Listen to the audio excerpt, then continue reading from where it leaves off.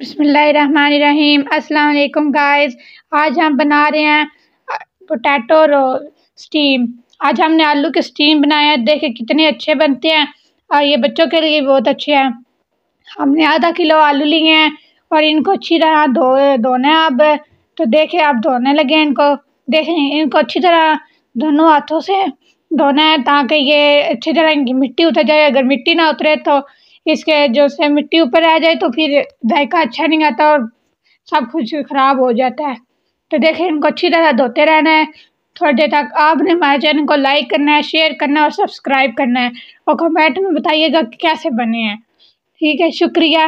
और आप हमारी वीडियो को लाइक किया करें। और अब इनको दरमियान से काट लेंगे, इनको ज़्यादा बड़ा नहीं रखना। ठीक है, ताकि ये अच्छी तरह उबल जाए और बड़े अच्छे नहीं लगते। इस तरह उनका जायका भी नहीं आएगा और आपने इनको छोटा ही रखना है।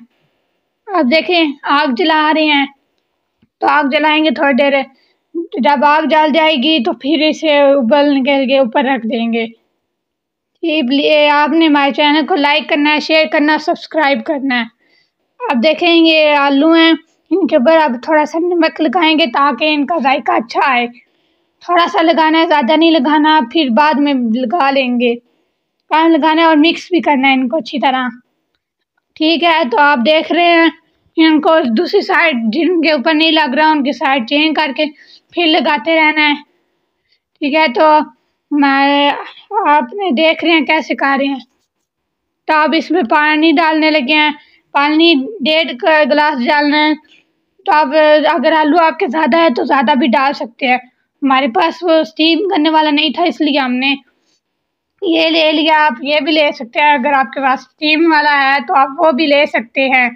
देखें आप आपने रख लिए ऊपर और देखें इनको जब सीटी बजेगी तो आपने चार मिनट रखना है और इनको उबलने देना है थोड़ी देर तक।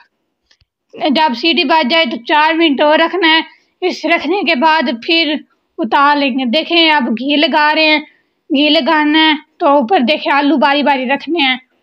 देखे, हम हाथ वो गर्म थे, इसलिए हमने हाथ से नहीं रखे। हम चिमटे के साथ रख रहे हैं। अगर गर्म हो तो आप भी चिमटे के साथ रखिएगा। और देखें, इनको आहिस्ता आहिस्ता साइड चेंज करते रहना है। इनके ऊपर नमक भी डालना है, मिर्चें भी डालनी हैं। अगर आपने काली मिर्चें डालनी हो तो डाल सकते हैं। देखें कैसे डाल रहे हैं हम। हमने ऊपर चार मसाला भी डाला है।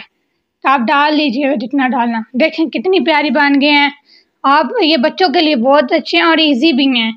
आप बड़ी जल्दी से और आसानी से बना सकते हैं। ये देखें, कितने प्यारे बन गए हैं। जब ये रेड रेड हो जाए तो फिर इनको उतारना होता है। देखें, आप चेक करने लगे हैं। देख, कितने प्यारे बने हैं और ठीक गले भी हुए हैं, उबले भी हैं। देखिए चेक कर रही हैं वो। मिर्चें आप ज़्यादा भी रख सकते हैं, कम भी रख सकते हैं। और आपने हमारे चैनल को लाइक करना है शेयर करना है और सब्सक्राइब करना। है और बताइएगा कि कैसे बनेंगे ठीक है तो देखें अब वो चेक कर रहे हैं और देखें दूसरों को भी दिए हैं। खा के चेक करके बताएँ कि कैसे बने वो भी कह रहे हैं कि अच्छे ही बने हैं। और आप भी बनाइएगा ज़रूर और बताइएगा अल्लाह हाफिज़।